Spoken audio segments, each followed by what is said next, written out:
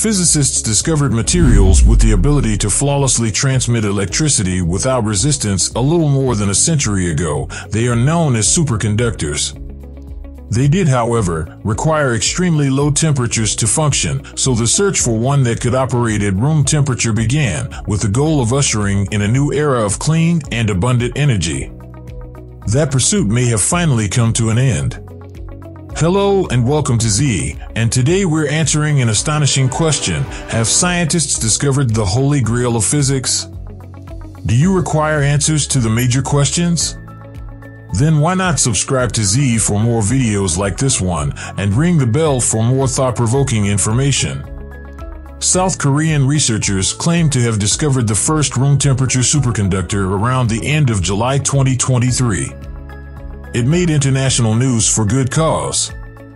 If the assertion is shown to be true, it has the potential to revolutionize the world.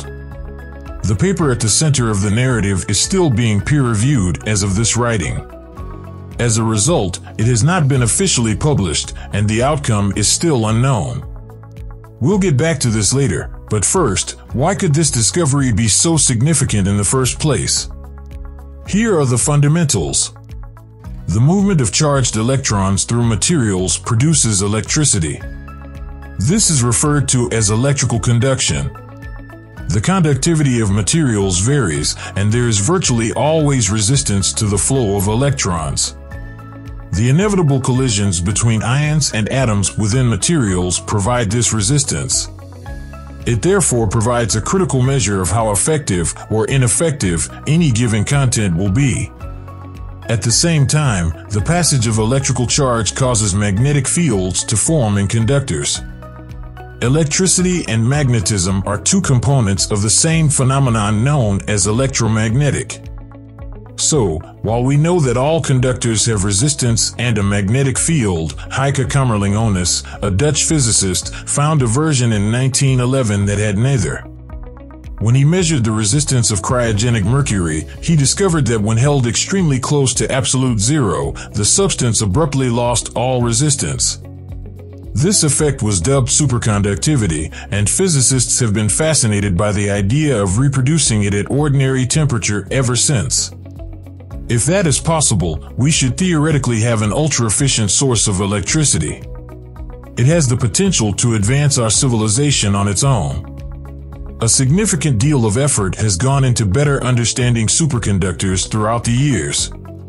The Meissner effect, in which a superconductor expels its magnetic field, was the first major discovery. It was discovered in 1933 and has the physical feature of repelling any adjacent magnets, causing superconductors to levitate in the presence of a magnet. As a result, superconducting magnets are extremely powerful. They're composed of superconducting wire coils, but, at least till now, they can only work at cryogenic temperatures near to absolute zero. And because of this necessity, everything is incredibly expensive. Nonetheless, superconducting magnets have a wide range of technological applications, such as creating the stable magnetic fields required for MRI scanners and hospitals. It seems to reason that if the cost of significantly cooling these materials was no longer a consideration, superconductors would become a pervasive component of practically all elements of current technology. These are incredible materials. And if they were inexpensive to obtain and maintain, it could be a huge development. For starters, the elimination of resistance would change national networks around the world.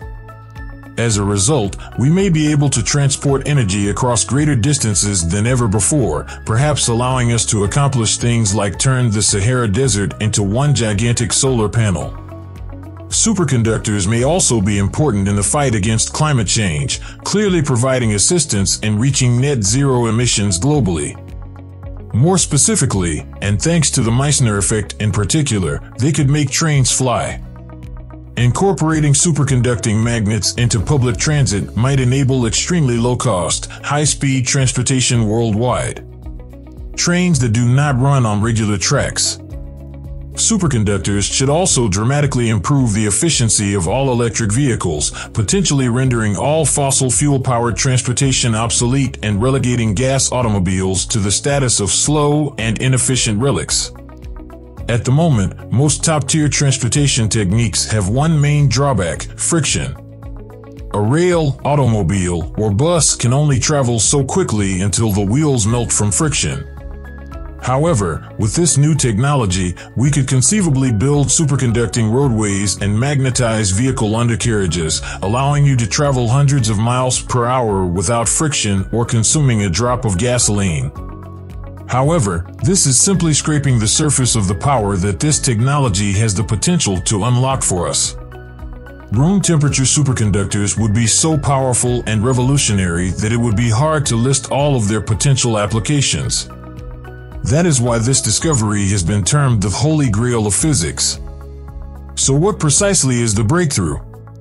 Returning to the recent paper, it was first filed by a team at the Quantum Energy Research Center in Seoul on July 22, 2023, with only three authors. It claimed that LK99, a modified crystal of lead apatite, exhibited superconductivity at temperatures of up to 400 Kelvin or 260 degrees Fahrenheit, 127 degrees Celsius. This is well above ambient temperature, and the article says that it can be manufactured in just a few days using standard lab equipment. Naturally, quite a fuss has been created, especially since South Korea already has a reputation for conducting some of the top materials science research in the world. However, several experts are also recommending caution. Immediately, researchers from all around the world began attempting to reproduce the paper's findings. If it was actually as simple to make as stated, this should not have been a problem. However, as at the time of publishing this video, there is no clear consensus on whether it is truly replicable. Some labs are said to have made it, while others have not. The most fascinating follow-up comes from researchers at China's Huazhong University who claim to have duplicated the results, determining that LK99 does indeed display the Meissner effect and even sharing a video of it doing so. However, continued use of the scientific method is essential, just assuming replication isn't enough. In general, we still don't comprehend the underlying physics and chemistry.